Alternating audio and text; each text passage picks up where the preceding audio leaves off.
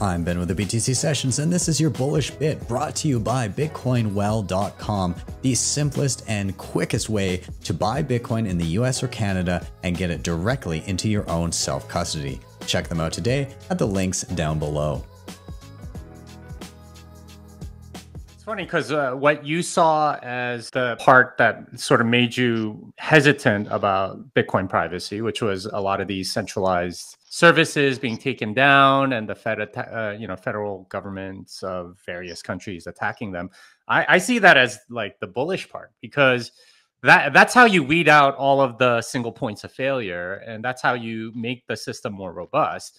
Once you take down the parts that are easy to take down, then you get solutions that are way more robust and sort of resilient to these attacks. So every time you get attacked, at least uh, you know in any decentralized system, you get better solutions, and the things that survive tend to be the ones that are immune to the things uh, that the other things that uh, didn't survive. It's it's kind of like a continual evolution.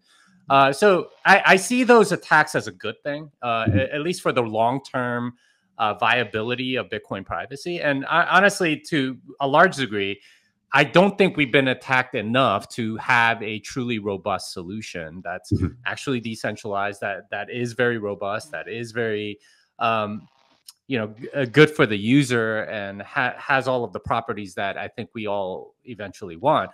It, we we need some people to, you know, like kind of try things and then those don't work and then you know you iterate and it, it's it's sort of this like market back and forth. Uh, and you know, I, I, gave a talk a while ago on how Bitcoin is anti-fragile and have, how every time it gets attacked, it it grows and strengthens.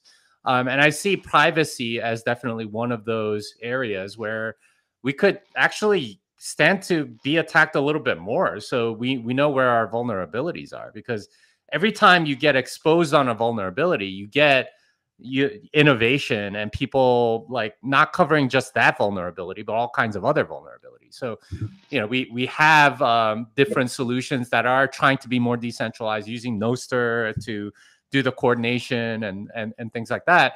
Those are very good innovations. If we had to rely on a single domain to make it work, you know, you could just go to a DNS and just like shut it off or whatever it, it makes it uh, it makes it very vulnerable. So I, I see that as the bullish thing is uh, is getting attacked so that we can patch all of these things before we get the flood of people in the next few cycles or whatever.